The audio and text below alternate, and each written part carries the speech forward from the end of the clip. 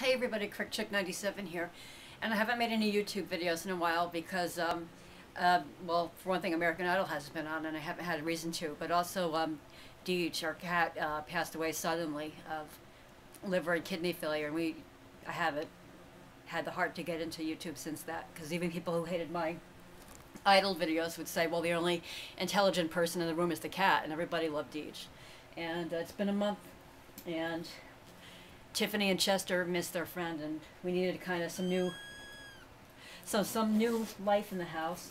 So we have come back from the SPCA with Oliver Twist, and those little feet, big feet, kind of caught our attention. And uh, I named him Oliver. I named him Oliver just because he's uh, he's an orphan like Oliver Twist, and it was one of the names I had written down. I had a whole list of names for a kitten. We knew we wanted a little boy. And we think he'll get along just fine with Chester. How Tiffany will react, we have no idea. But he doesn't like being confined in here. He loved the ride in the car. He liked, being, he liked when I took him out of there, and he looked out the windows just like Deej used to do. I think he likes going for rides. He's a little nervous now, but he's I think he's more curious than anything else. So this is the newest member of our family.